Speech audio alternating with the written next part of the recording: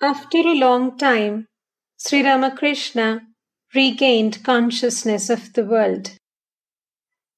Master to M. Something happens to me in that state of intoxication. Now I feel ashamed of myself. In that state, I feel as if I were possessed by a ghost. I cease to be my own self. While coming down from that state, I cannot count correctly. Trying to count, I say one, seven, eight, or some such thing. Narendra. It is because everything is one. Master. No. It is beyond one and two. Mohima. Yes, you are right. It is neither one nor two. Master. Their reason withers away. God cannot be realized through scholarship. He is beyond the scriptures, the Vedas, Puranas, and the Tantras. If I see a man with even one book in his hand, I call him a Rajarshi though he is a Jnani. Footnote Rajarshi, a rishi or seer who appears with outer splendor like a king. Footnote ends. But the Brahmarshi has no outer sign whatsoever. Footnote Brahmarshi, a seer who always dwells in Brahman consciousness. Footnote ends. Do you know the use of the scriptures?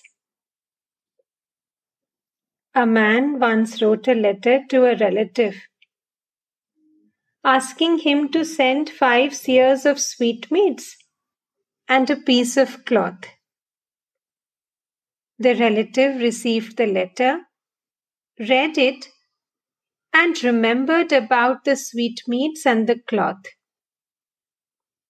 Then he threw the letter away.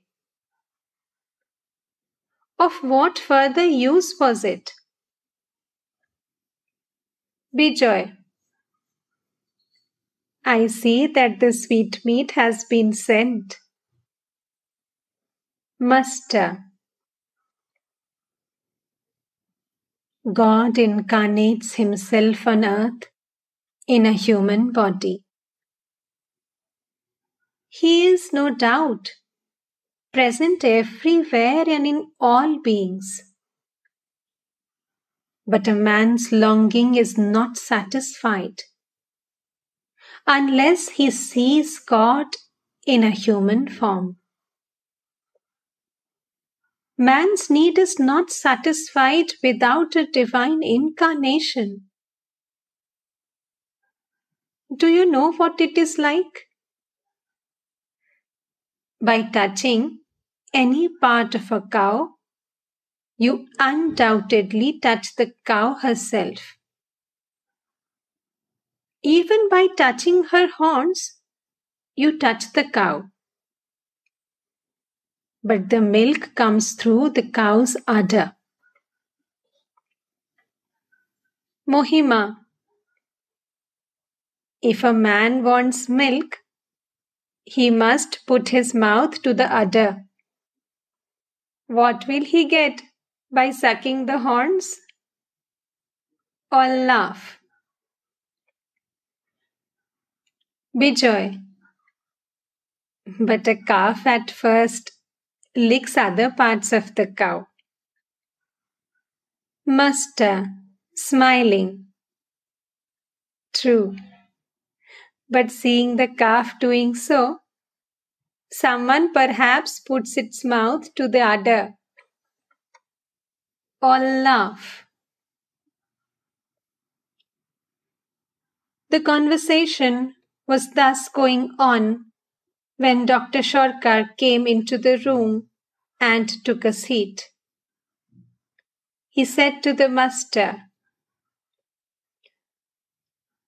I woke up at three this morning, greatly worried that you might catch cold.